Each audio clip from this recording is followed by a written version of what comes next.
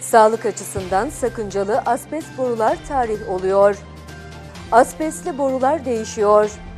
Aksaray Belediyesi içme suyunda sağlıklı adımlar atarak asbestli içme suyu hatlarını değiştirerek asbestli boru kullanımına son veriyor.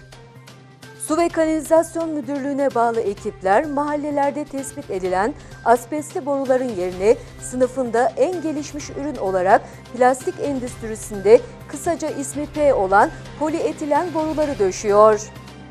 Asbestli boruları değiştirerek içme suyu hatlarını sağlıklı hale getiren ve eskimiş borulardan dolayı meydana gelen arızaları önleyen Aksaray Belediyesi çalışmalarına Taşpazar Mahallesi'nde devam ediyor.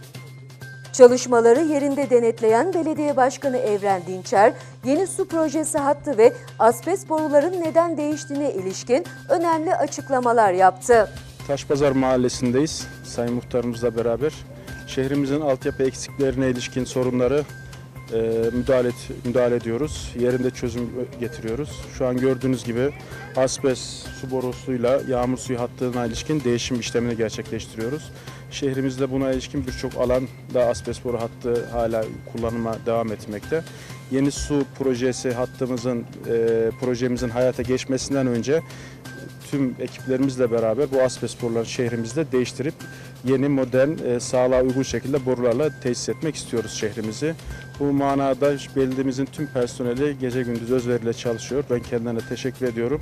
Şehrimizi daha sağlıklı, daha güzel, daha yaşanır bir kent haline getirmek için elimizden gelen gayreti sürdürüyoruz. Hemşerilerime hayırlı günler diliyorum.